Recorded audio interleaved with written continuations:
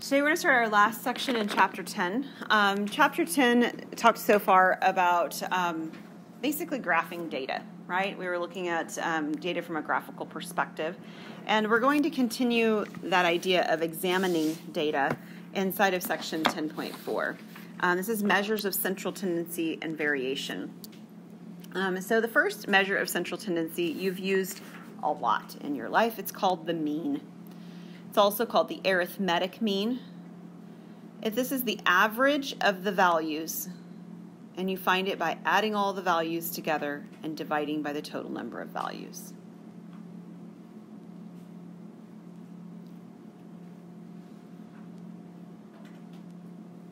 So, a variation of this is what happens with your grade in the class, right? In fact, probably all your classes have something that uses the arithmetic mean. Um, you take all of the things that you've done, there's maybe a weighting system in play, um, but you're adding a bunch of things together and dividing by how many of them you have in some way, shape, or form. That's a mean. So, this is one way to find um, a measure of central tendency. Another way of finding a measure of central tendency is the median. The median is the middle number. Uh, and it's found by listing all the numbers in numerical order.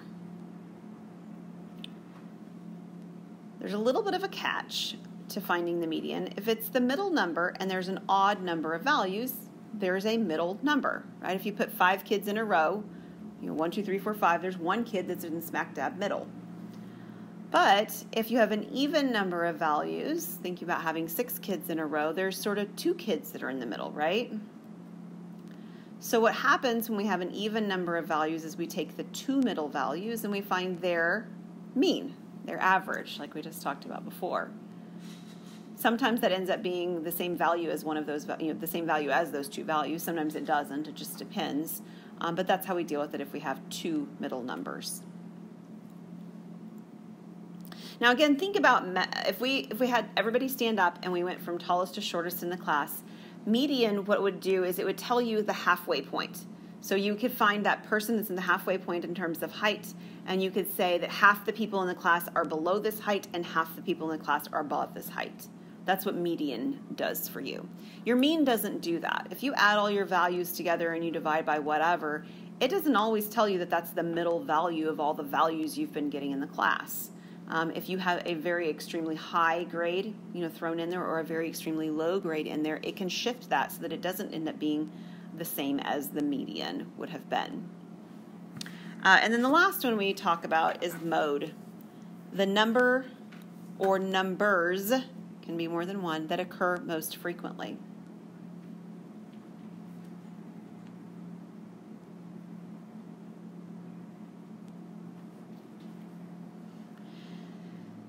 This one's the one that people seem to um, have a little bit of difficulty understanding why this would be a measure of central tendency. So imagine that you were trying to find out how much money is made by the employees working in a specific school district. Right? You're thinking about applying there, what's the average salary kind of thing. Well, it probably wouldn't be too helpful to find the mean. And the reason is because the superintendent's salary is going to be thrown into that. And the principal, right? That might not give you the best representation of what you would actually make starting there. Now, even put yourself in a different position than that. Let's say you were starting not even in the role of teacher, but you were starting in the role of like some sort of administrative assistant or a janitor. Well, it wouldn't make any sense at all then, right? Like you would not expect to get the average because your role that you're playing in that position wouldn't wouldn't fit. So the mode actually calculates how many of what specific type of number you're looking at. So if the majority of the people are making, you know, $30,000, but you have the superintendent who's making $100,000, you don't want his number throwing that in there and making it look like something it's not. So mode could be thought of in that way as a better idea. Um, oftentimes you see median used, and I don't exactly know why, but you see median used when they talk about family income, the median family income. Have you ever heard that phrase before? People like to use that one too, and I think it's for the same reason that millionaire next door, we want to throw his number out. We're not interested in how his number is going to skew the, the data kind of thing. So that's another one where you see median used in everyday life. All right, so we're going to do some calculations. I've got just a random set of data for us to practice with. It doesn't have too many values because I don't want us to get too bogged down in the calculation itself, but more about how we do the calculation. So the first thing we're going to do is we're going to find the mean. So what we really want to do is we want to add these values together. So 18 plus 22, whoa, 22s, plus another 22, plus 17, plus 30, plus 18, plus 12. And then we need to divide by how many of them there are. So how many of them are there? There are seven of them. Um, you can either write this out, or if it were too many values that you felt like it was sort of unnecessary to write them all out, you could also just tell me what the sum is. But you need to have either this one or this one written down as the work you're showing. So what do you get if you add all these together? I don't even have the sum written down on my paper.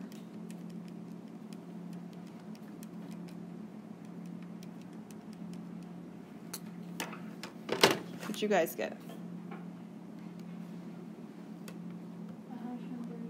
Okay, that's what I have too. Good. So 139 divided by 7 is what? All right, and we'll go with two decimals for what we're doing um, and everything in this section. We'll come back to that. So 19.86, whatever it is we're calculating for, 19.86. That's our mean. Our median. Now, this is a common mistake people make is to forget to put them in order. Median only works if they go in order from least to greatest, or you could do greatest to least if it suits your fancy. But you got to put them in order, or it doesn't make any sense. Okay? Um, so if I put them in order from least to greatest, I have 12, 17, 18, 18, 22, and 30. What's that? Oh, I left one off. Thank you. Two 22s and then a 30. Better. Okay, there's an odd number of values, right? I've got seven of them. So there really is a middle value. What is the middle value here? 18, and specifically it's the second 18, I think, right? Um, and so it balances because that, that, that box, if you will, has three numbers before it and three numbers after it. So that makes sense. So our median is 18. And then our mode. What number or numbers occur most frequently? Yeah, there's actually two of them. There's 18 and 22. So we would actually call that bimodal. Um, so if you see that, that word used, you'll know what that means. It just means there's two modes. Um, but you can have, and you can have no mode. If they all occur the same number of times, let's say they all occur twice or all occur once, then there's just no mode. But if there's anything that occurs more than anything else, we've got mode, and we've got to figure out which one occurs the most or which ones occur the most. Okay, any questions so far? So that's a direct question based on the rules that we've pre presented before. Example two takes something and it creates something a little bit more complicated. Um, this says the mean score on a set of 20 tests is 75. What is the sum of the 20 test scores?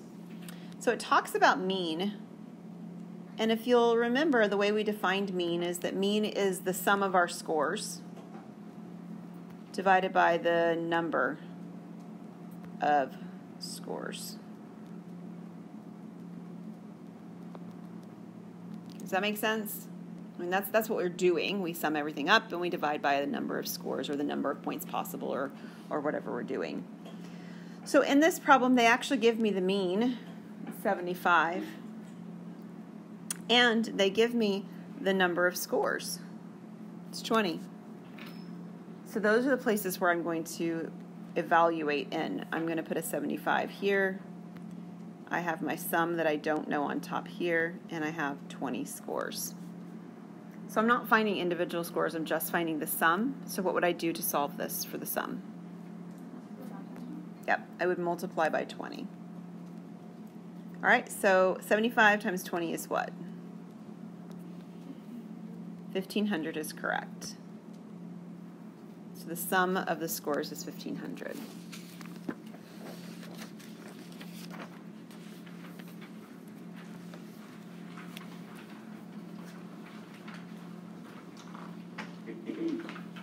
Okay, now we're going to take that idea just a little bit further. This problem talks about uh, football. I don't know if, how much you know about football. I know very little but I can do the problem, so it'll be all right. Um, if the mean weight of seven linesmen on a team is 230 pounds, and the mean weight of the four backfield members is 190 pounds, what is the mean of the 11 person team? So, what we're trying to find out eventually is what is the overall mean, and what we want is we want their total weight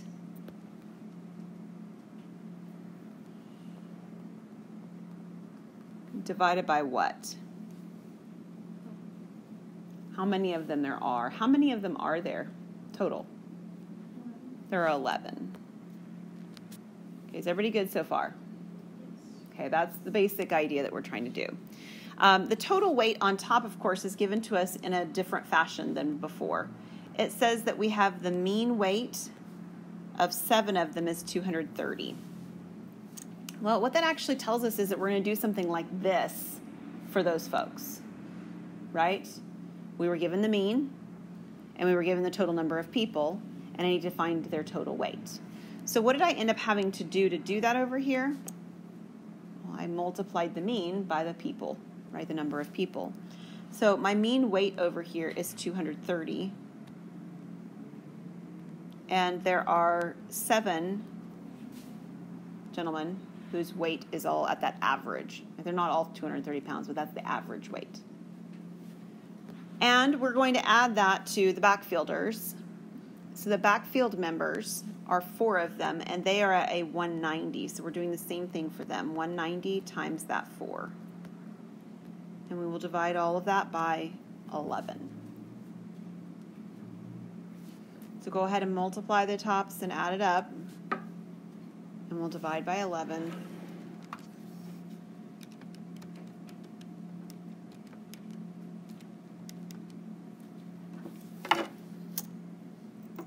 What did you get?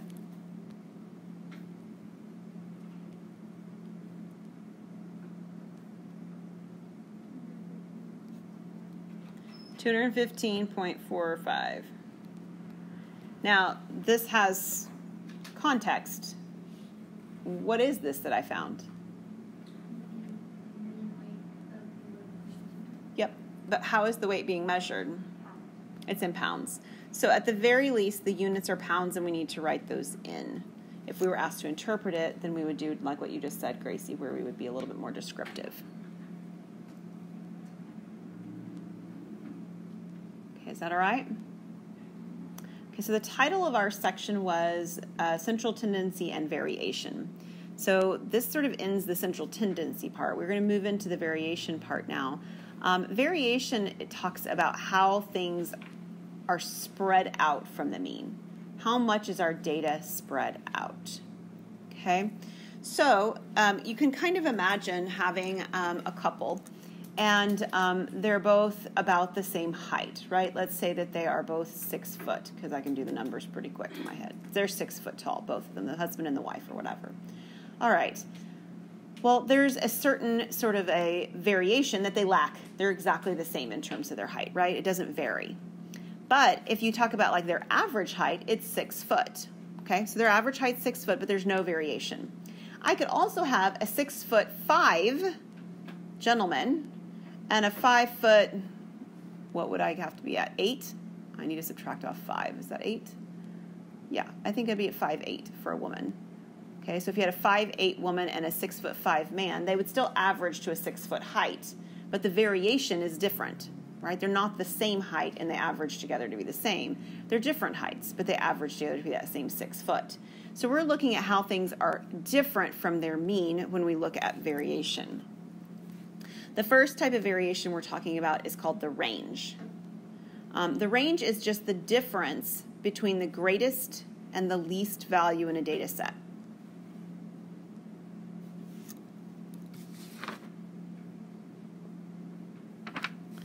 Uh, if I were looking at this previous problem over here, I know I'll come back to this, I promise. My greatest value was a 30 and my least value is a 12. So range would just be to subtract the 30 minus the 12. Okay, so that's range. Uh, the next three kind of all go together. Range incorporates with them, but the next three definitely all go together. Um, this talks about splitting the group up into quartiles. So, what I'd like to give you a picture of again in your mind is having all those kids standing up in front of you in least to greatest height. All right? So, we, we did the median before. The median was the halfway point. Well, the median corresponds to this one that says middle quartile. The middle quartile is just the same as the median. It's the 50% mark. It's the place where we divide the class in half. The lower and the upper quartiles is where we divide them into quarters, hence the word quartile. So they're the 25% mark and the 50 um, 75, excuse me, percent mark. So again, it's sort of like the median of the lower half and the median of the upper half, right? We take it and we divide it in half again.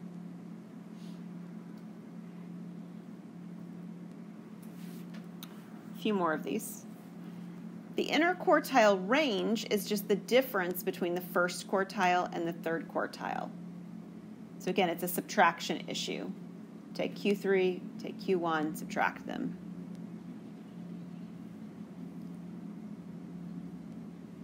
Our lower extreme is just the smallest data set value, and the upper extreme is the largest one. And all of this is building up to what's called a box plot. So we have another graph here.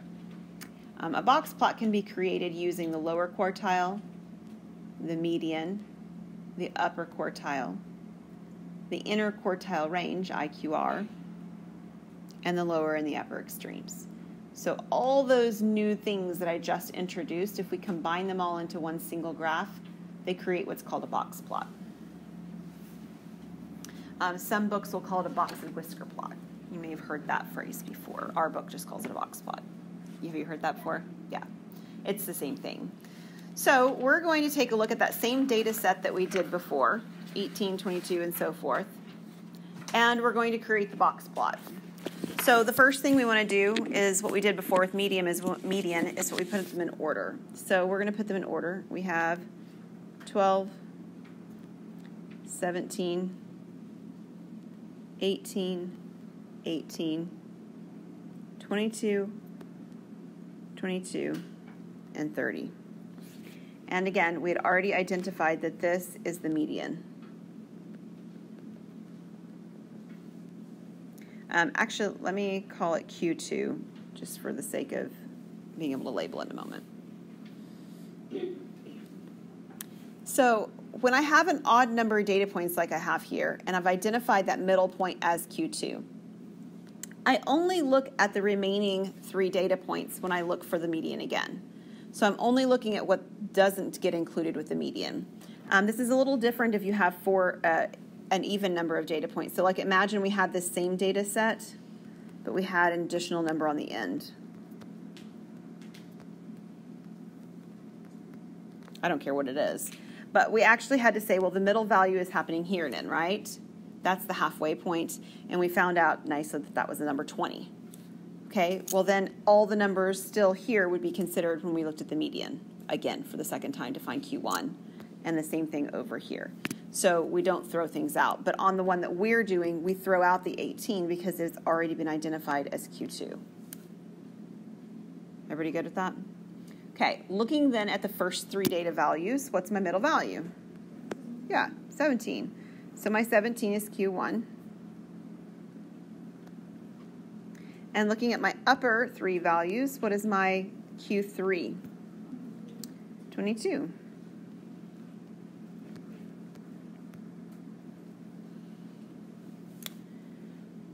All right, just a few other things. Um, we'll write them down, we know them, but what is my lower extreme?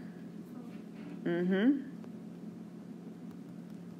and my upper extreme.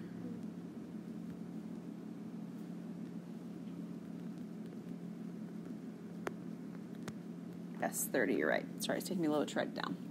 Um, those are really the values we need to be able to make a box plot. So to make a box plot, you're going to draw a number line. The number line will occur below your graph just to give it scale. That's all it's really for. Okay, it's not a part of the graph um, itself, like it doesn't touch the graph.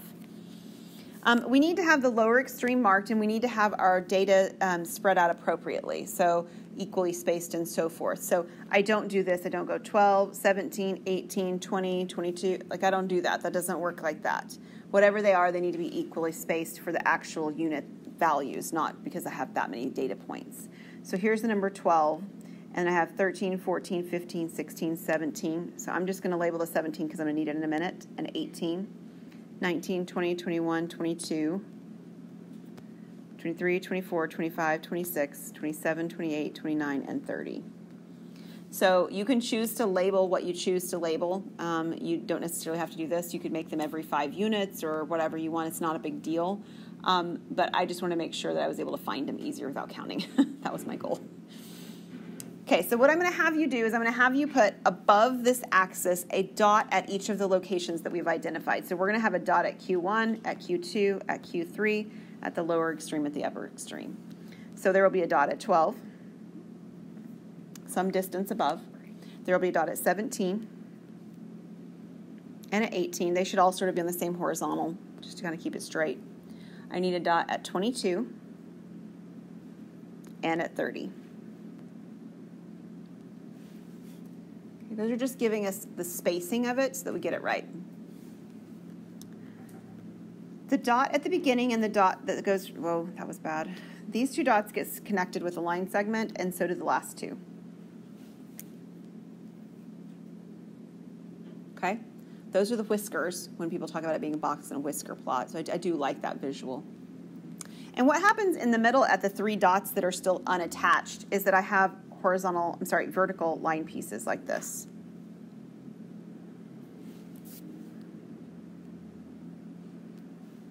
And they form a box, like so. That's my box. So there's my box, there's my whiskers. So let me talk a little bit about what this tells you. Oh, let me put a title on it first. We need a title. Um, I'm just going to write the word title because we don't have any units on this, but that way you remember that when you have data, you know, that has context, you'll have units. Yes, ma'am? It doesn't matter. You can put it wherever, wherever you have space. Um, so what does this data tell? I mean, what does this picture tell you? Well, it shows you where the halfway point is very easily, right? It's that the vertical line in the middle of the box. Um, it also tells you how things are bunching up more. I mean, I don't know these aren't a whole lot of data values, but imagine that you had a bunch. It would tell you that there's a lot of um, space right here, right? This variation over here in this quartile is a lot bigger than the variation here. This variation is only by one. This variation is by what? Five, four, four, excuse me. Right? So we've got much more variation over here than we have over here. It tells you that the variation on the ends are pretty long too right? I have these values that are very spread out, except for this one quartile where the, the values are bunching up, right? I know it sounds sort of funny to say it that way because I don't have very many values to do it with, but the more values you have, the more it starts to make sense that those details are useful. All right, that's actually a really good place for us to stop. So we're going to stop right there. Um, the next parts that we do um, are very well connected, and so I'd like to do them in the same lesson.